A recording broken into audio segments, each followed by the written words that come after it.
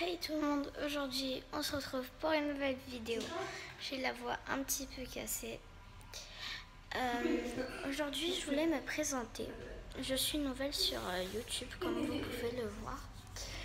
Euh, j'ai bien une photo de mon père mais je ne peux pas la modifier.